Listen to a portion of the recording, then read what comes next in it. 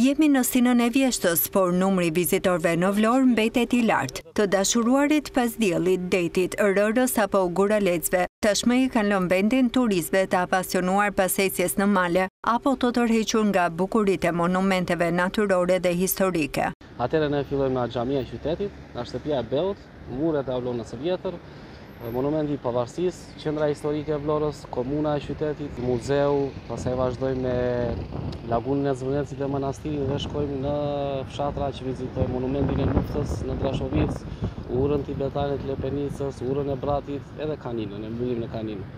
Fatjon Katiaj, që prej vitesh punon si udhërrëfyes, na tregon pikat më interesante për t'u vizituar nga turistët, ndërsa për Vlorën, turi përfshin një sërë monumentesh. U pëlqen natyra që ne kemi në malet tona.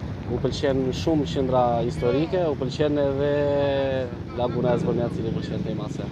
Por ajo çfarë ai vëren te turistët dhe për të cilën kërkon më shumë vëmendje, është kujdesi që duhet treguar në shërbim. Më shumë i drejtohem sektorit privat, sepse jemi ne ata që e ngremë Shqipërinë në pjedestal, jemi dhe ne ata që e shkatërrojmë. Duhet kemi kujdes me shërbimet edhe me çmimet. Kërkesat janë të larta edhe për sezonin e dimrit, madje këtë vit turet janë të prenotuar edhe për festat e fundvitit.